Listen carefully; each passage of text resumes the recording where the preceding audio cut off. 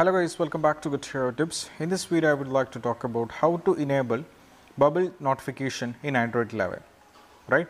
To do this, all you have to do is follow these very simple instructions and make sure. So, and you may be wondering what is bubble notification, right?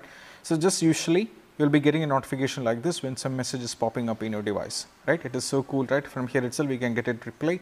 You don't have to open the particular app to do any kind of replays, right? So, it's kind of very good, right? So, to do this, all you have to do is first go to settings, then you have to go to about phone and you have to go to build number and you have to tap for seven times to get enable the developer option, right? So, I have already done this. So, now I am already a developer.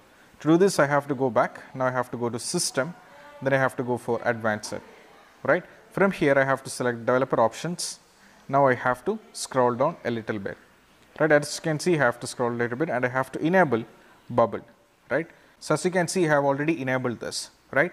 So, this is for the usual purpose nothing but so you have to make sure it is enabled and once after that you have to get any kind of messages from any kind of people right. Uh, the bubble notification I am not getting. So, what I have to do is I just have to scroll down from here then I have to select this. Now, you have to press over here and I have to go for remove bubbles right. So, if I have done it is okay. Now, once again to get the bubble I have to do this I have to press this and I have to go for show bubble.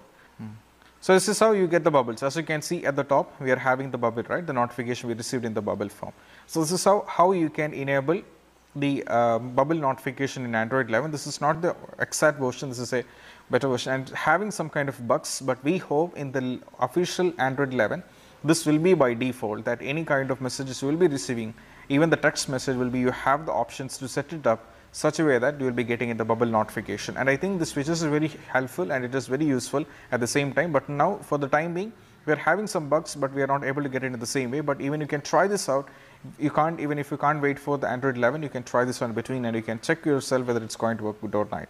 So any kind of suggestions in the comment sections are welcome we will try our best to improve and make to your expectations and don't forget to subscribe and click on the bell icon for further notification. This is Shahan signing off from Get Tips. See you soon.